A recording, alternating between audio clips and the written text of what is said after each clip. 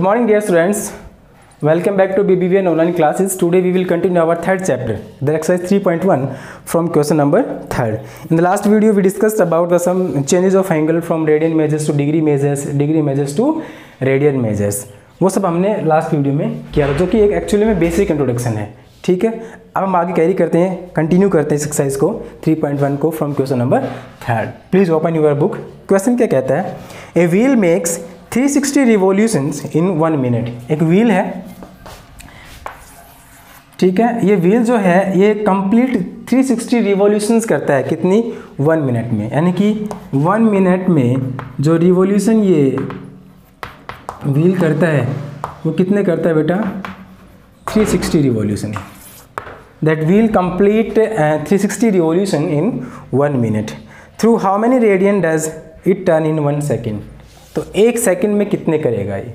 तो एक बात देखिए कि ये जो रिवोल्यूशन कर रहा है ये व्हील जितने भी रिवोल्यूशन कर रहा है ये, जब भी एक कंप्लीट रिवोल्यूशन करेगा 360 डिग्री मेजर्स करता है है ना? One complete revolution one complete revolution that equals to how many measures 360 degree या फिर हम ये कह सकते हैं टू पाई रेडियन कितना? टू पाई रेडियन हमें आंसर पूछा कि थ्रू हाउ मैनी रेडियन तो हम सीधी सी बात क्या लिखेंगे? वन रिवोल्यूशन यानी one complete revolution one complete revolution takes how many degree of angle two pi radian कितना आएगा बेटा? टू पाई रेडियन तो रिवोल्यूशन कितने कर रहा है? 360 रिवोल्यूशन कर रहे हैं। अब ये कहते हैं कि वन सेकंड में बताइए आप तो वन सेकंड में रिवोल्यूशन कितने वो देखिए आप। भाई, एक मिनट में कितने रिवोल्यूशन कर रहा है 360 एक मिनट इक्वल टू 60 सेकंड तो 60 सेकंड में कितने रिवोल्यूशन है इसके? 360 तो वन सेकंड में कितना होगा?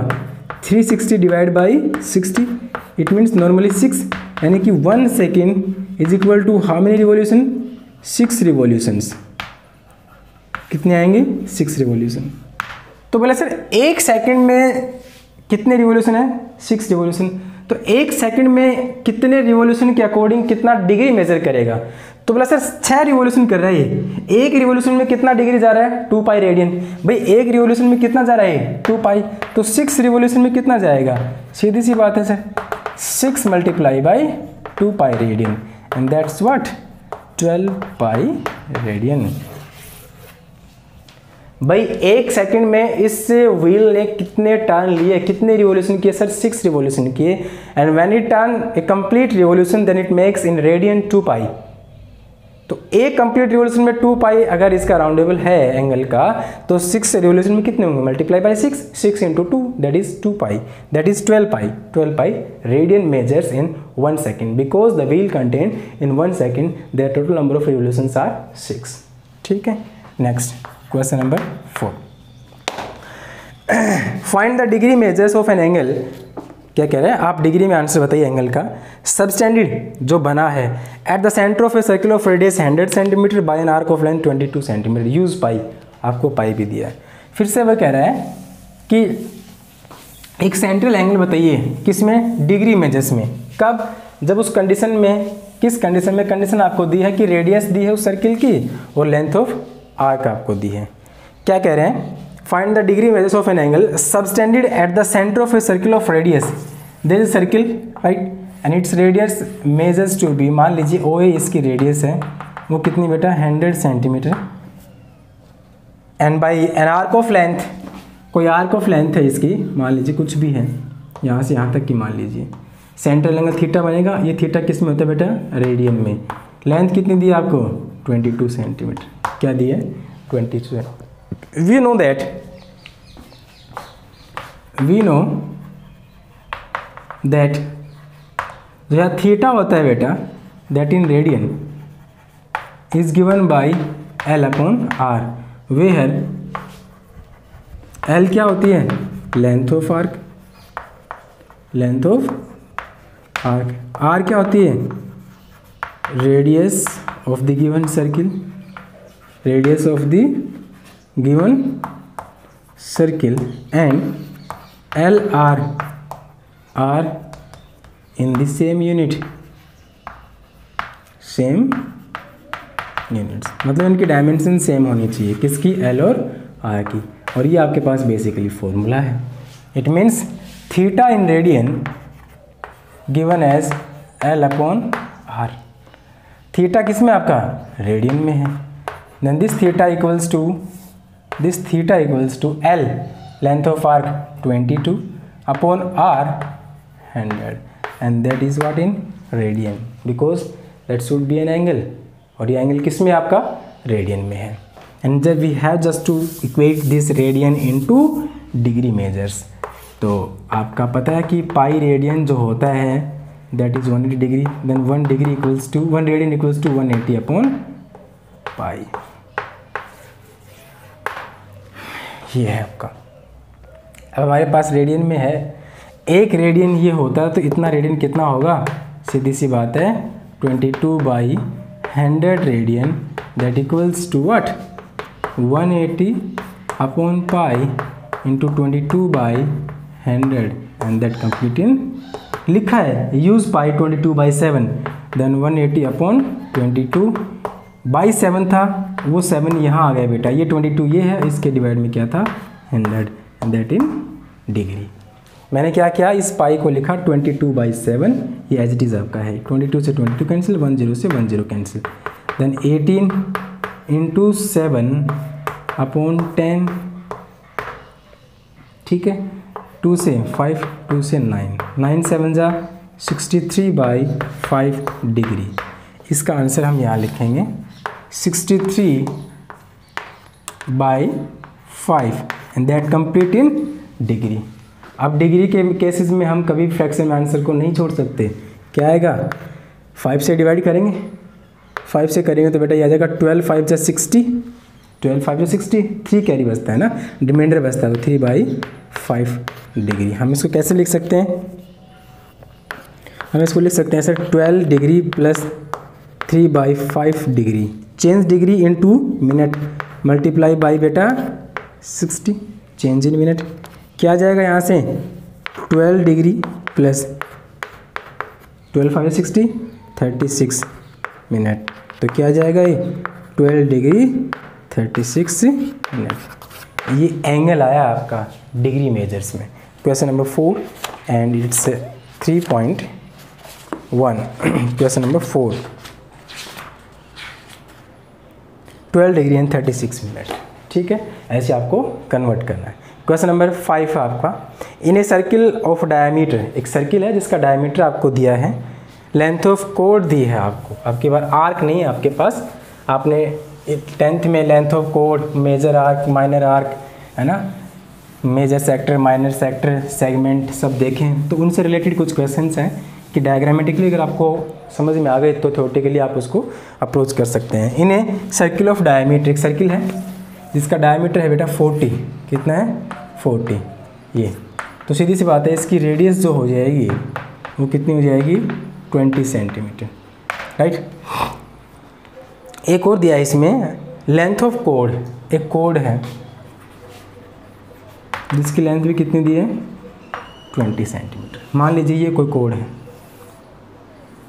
इसकी लेंथ भी कितनी है? 20 सेंटीमीटर। ये साइकिल है, इसके पास कोई रेडियस है। कोई भी रेडियस होगी, हमें उससे कोई मतलब नहीं है। हमने लिख दी वहाँ पे कि रेडियस कितनी है? ट्वेंटी। सर्किल का सेंटर मान लीजिए, ठीक है? ओ पे ए बी क्या है कोई? कोड है। चलिए, क्या कहते हैं? Find the length of the minor arc of the code तो माइनर आर्क कौन सी होगी? यही तो होगी। माइनर आर्क जो ए बी आर्क है that is called the minor arc इसकी लेंथ बतानी है आपको। तो इसकी लेंथ कब आए? जब हमारे पास सेंट्रल एंगल हो। क्योंकि जो तो थीटा होता है बेटा, वो क्या होता है? एल अपॉन आर और ये थीटा जो होता है, किसमें होता है? रेडियन में। अगर मैं इसको इससे ज्वाइन करूँ और इसको इससे ज्वाइन करूँ, क्या ये रेडियस नहीं है सर्किल की? और रेडियस कितनी है? Twenty two twenty two in this triangle O, A, B, क्या है बेटा? एक ट्राइंगल तो है। क्वेश्चन नंबर फाइव में क्या है? An triangle O A B दिख रही कहीं आपको? ओ ए बी कैसी है? इज़ एन इक्विलेटरल ट्राइंगल कैसी है? Equilateral and all angles are measures to be equal and they concern as 60 degree इसका मतलब जो सेंट्रल एंगल है देखिए ना आप, ये रेडियस हो गई। भाई, कुछ इस तरह का तो डायग्राम आया कि एक रेडियस ये है, एक रेडियस ये लेंथ ऑफ़ आर्क की है ना। तो ये तो बतानी है आपको। तो ये थीटा आपके पास गिवन हो और रेडियस दिए तो एल नहीं निकाल सकते। रेडियस हमारे पास गिवन है। थीटा किसमें है डिग्री में। Change in radian theta equal to आपको कितना दिया है? सिक्सटी डिग्री दिया है। आपको ये पता है कि पाई रेडियन कितना होता है बेटा? One eighty degree then one degree equals to what pi by one eighty radian pi by one eighty radian तो जो तो थीटा हमें दिया है। कितना दिया है? सिक्सटी डिग्री क्या करेंगे? एक डिग्री इक्वल टू कितना होता है आपका? One degree pi by one eight तो सिक्सटी से और मल्टीप्लाई कर दूँ। किसमें आ जाएगी? रेडियन में। Cancel that is how much pi by three radian we know क्या? जो थीटा होता है, वो कितना होता है बेटा? एल बाई आर रेडियन में होता है एंगल ये एल आपको फाइंड करनी है। रेडियस आपको दी है। थीटा कितना है? Pi by three equals to L find करनी R twenty then what is L divide में है मल्टीप्लाई में आ जाएगा। Pi by three into twenty L किसमें आएगी? सेंटीमीटर में, क्योंकि डायमेंशन जो दिए हैं, सारे सेंटीमीटर में तो दिए। क्या हो जाएगा? यूज़ पाई लिखा कहीं इसमें? नहीं लिखा था, हम उसको यूज़ कर लेंगे। पाई कितना है? तो ट्वेंटी टू बाई सेवन और ये ट्वेंटी है, और ये थ्री है। तो कितना हो जाएगा? Twenty two four four zero upon seven three ज़ा डिवाइड करो आंसर लिखो। ये आपकी इस केस में क्या हो जाएगी बेटा? लेंथ ऑफ़ आर्क हो जाएगी। ठीक है? Next question number six if in two circles दो सर्किल्स हैं arc of the same length कोई आर्क है जिसकी लेंथ सेम है? ठीक है? Subtended sixty degree and seventy five degree at the centre find the ratio of their radii आप उस सर्किल में इन दोनों सर्किल में जो रेडियाई होंगी, उनका रेशियो बताएँ। मतलब लेंथ ऑफ़ आर्क सेम है। एक सर्किल मान लीजिए ऐसा है, दूसरा ऐसा है। ठीक है? तो इसमें कोई रेडियस इसकी मान लीजिए आर वन है। ओ ए ले लूँ इसको। इसको मैं ओ डैस ए डैस ले लूँ और इसकी रेडियस को ले लूँ R two length of arc same है। लेंथ ऑफ़ आर्क क्या है? सेम है। इस केस में थीटा वन इसने यहाँ बनाया। इस केस में इसने बेटा थीटा टू यहाँ पे बनाया। थीटा वन जो आपका एंगल है 60 डिग्री और ये कितना है बेटा? 75 डिग्री लेंथ क्या है? सेम है। लेंथ ऑफ़ आर्क क्या है? सेम तो इस केस में जो आपका थीटा वन होगा, वो कितना होगा? एल अपॉन आर वन क्योंकि एल सेम है। थीटा किसमें रहना आपका? रेडियन में। और इस केस में जो थीटा टू होगा, वो भी क्या होना आपका? एल अपॉन आर टू इस केस में थीटा क्या रहना है? रेडियन में रहना है। ठीक है?